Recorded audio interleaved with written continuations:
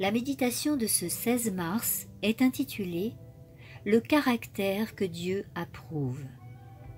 Que personne ne méprise ta jeunesse, mais sois un modèle pour les fidèles, en parole, en conduite, en charité, en foi, en pureté.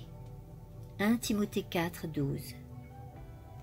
Jésus, la majesté du ciel, donna un exemple de pureté à la jeunesse. Il travailla dans l'atelier de Nazareth pour gagner son pain quotidien. Il fut soumis à ses parents, et il n'essaya pas de gérer son temps ou de suivre sa propre volonté. En vivant dans l'indulgence, un jeune ne parviendra jamais à atteindre la véritable excellence en tant qu'homme ou chrétien.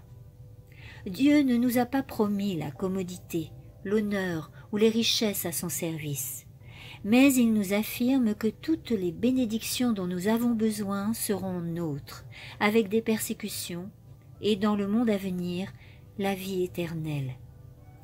Christ n'acceptera rien de moins que la consécration totale à son service.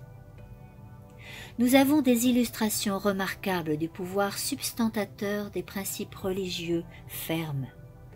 La gueule ouverte des lions dans la fosse ne put empêcher Daniel d'élever ses prières quotidiennes, ni la fournaise ardente ne put induire Shadrach et ses compagnons à se prosterner devant l'idole élevée par Nebuchadnezzar. Les jeunes qui ont des principes solides éviteront le plaisir, défieront la douleur, et même la fosse au lion et la fournaise ardente, plutôt que d'être infidèles à Dieu. Notez le caractère de Joseph. Sa vertu fut intensément mise à l'épreuve. Le même principe élevé, inflexible, se manifesta à chaque épreuve. Le Seigneur était avec lui, et sa parole était sa loi.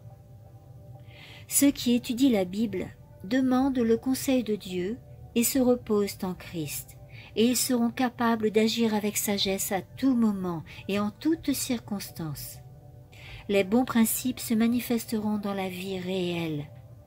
Si vous recevez cordialement la vérité pour ce temps, de manière qu'elle devienne la base du caractère, elle produira une fermeté dans les objectifs qui ne se laissera pas dévier par les attraits du plaisir, ni les caprices de la mode, ni le mépris des jouisseurs du monde, ni les désirs du cœur qui réclament sa propre complaisance.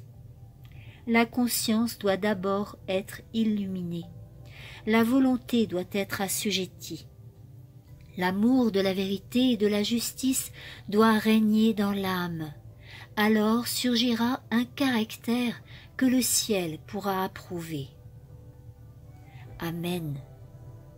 Si tu as apprécié cette méditation, n'hésite pas à liker le petit pouce qui pointe vers le ciel et à partager.